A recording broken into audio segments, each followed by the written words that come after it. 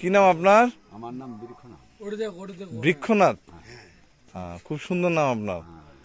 এই ঘর? কার এই ঘর তো আমরা আছি আমরা আমার তাই জায়গা আপনার? জায়গা আমার নাই।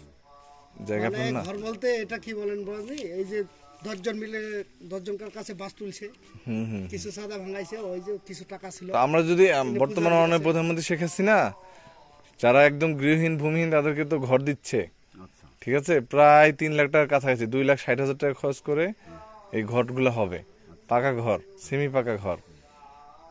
এখন কি আপনারা ওই যেখানে আমরা আমরা তো খাট জমি ছাড়া ঘর করতে পারব না? হ্যাঁ। হ্যাঁ তো ওখানে ঘর করে দিলে যাবেন? না, এখন যে মন্দির আছে।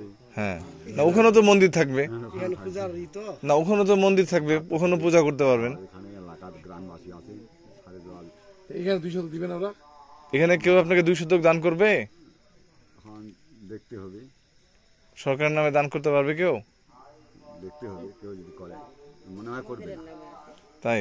হ্যাঁ এই জায়গাটা কার? এই জায়গাটা? এটা প্রদীপ নামে এক ছেলে তার বাবা। মহিনাম উনি কোথায় থাকে?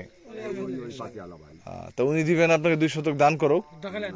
মন্দির সাথে থাকলে সুবিধা ভালো হবে তো একটু গল্প করাটা গল্প করে না মনে হয় করবে না আমি এক- উনি কি বিক্রি করবে বিক্রি না করে পুলিশে দান করতে পারে বিক্রি করবে না ওটা বিক্রি করবে। বিক্রি করবে না। ও এটা কি মন্দিরের জায়গা? এটা এটা তো মন্দিরে না এই এই- এইটা এটা মন্দির।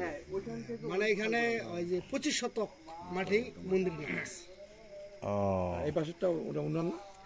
হ্যাঁ তো ওটা দিতে পারে তো দিবে? বসে একটু বুঝা সুঝা বললে। হ্যাঁ। দেখেন কেউ যদি দুই শতক দান করে কিনা আমরা আবার তাকে যা মানে ধরেন কোন এক ব্যক্তি যদি ওনাকে লিখে দেয় ওনাকে তো লিখে দিবেন না, সরকারকে দান করবে। সরকারকে দান করলে আমরা আবার ওনার নামে লিখে দেবো। কথা বুঝতে পারেন